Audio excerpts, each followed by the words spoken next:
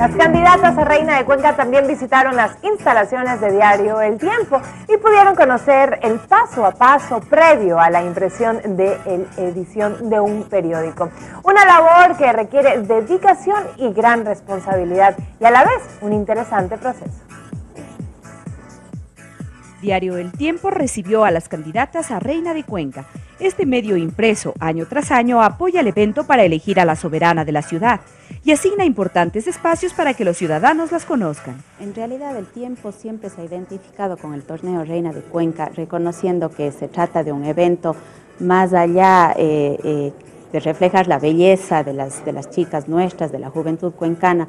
Pienso que la soberana tiene eh, una responsabilidad social enorme y el tiempo identificado siempre con las causas pues, que benefician y apoyan a la sociedad, a, Cuenca, eh, siempre respalda este, este tipo de certámenes. Ellas recorrieron las instalaciones del diario y conocieron el paso a paso previo a la impresión.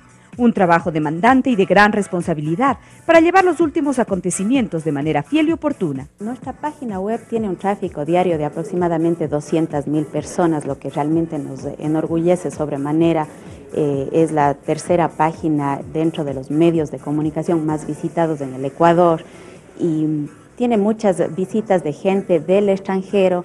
Entendemos que son azuayos cuencanos que residen en el exterior y también, eh, obviamente, ya del ciudadano común y corriente que se entera día a día a través de los, de los medios digitales. Un proceso que conocido desde adentro se dimensiona la complejidad que conlleva. Un diario cuencano muy interesante. La, eh, chévere compartir momentos con los dueños, ¿no?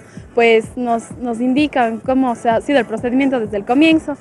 Y yo creo que como ya figuras públicas de muchas personas debemos saber lo que, lo que hacen con nosotros eh, y lo que, bueno, el empeño que le ponen. Así Diario El Tiempo continúa, como todos los años, apoyando a la Fundación Reina de Cuenca en el evento de elección, así como en las gestiones de labor social que emprende.